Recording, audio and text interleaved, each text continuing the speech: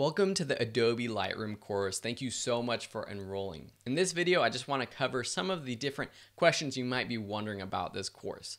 First, is this really the right course for you? Let me explain a little bit more about who we designed this course for.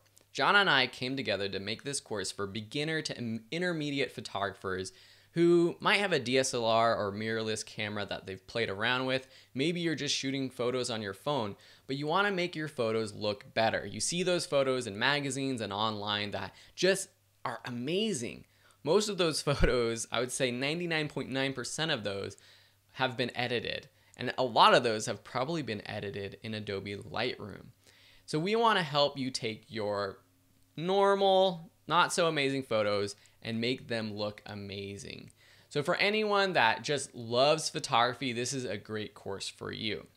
Now that you know a little bit more about who we created this course for, why should you take this course from us? I know what it's like to pick instructors or try to pick instructors in college, high school, or just with an online course or YouTube tutorial. And I know how painful it can be to sit through a boring instructor. So we want to make sure that we are as engaging and excited about Lightroom as possible so that you can get excited too. To this date, I've had over 200,000 students enroll in my courses and most of them have enjoyed them. And John is a professional photographer who runs his own photo studio. Together, we have years of digital photography and instruction experience, but most importantly, we just love photography and we love seeing students of ours go through our courses and really achieve their dreams with the instruction that we give them. You may be wondering, is this course going to be boring or not? If you're excited about this topic of photo editing and photography in general, this is going to be a great class for you. If you're only mildly interested, you might get bored fast. Does that make sense? But I think if you're excited about photography, you're going to want to binge watch these lessons just like you would a TV show that you're really excited about. And then lastly, just a few quick tips for taking this course. We've included practice photos that you can download and edit along with us. In this lesson, we've included some downloadable zip files that include all of my sample photos and all of John's sample photos. Throughout the course, we kind of flip flop from section to section. I'll teach one, John will teach one. Sometimes we split up a section, but you'll be able to find the photos just with the photos that you download in this lesson.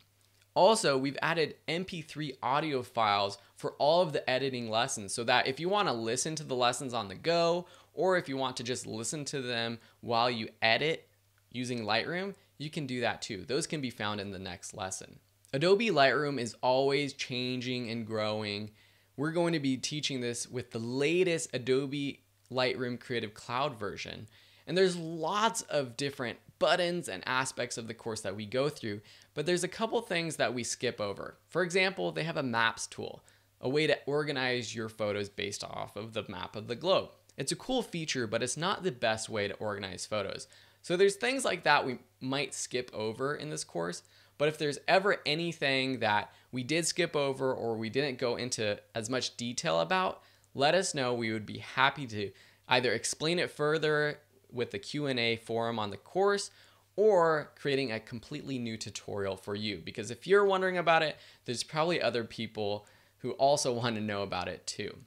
Please give us any feedback you can to help us make this a better course. With all of our courses that I've ever created, I know it's not perfect in the beginning, and I depend on feedback from students like you to make it the best course that it can be. Thank you again for enrolling, and we'll see you in the next lessons. I hope you're excited because we sure are.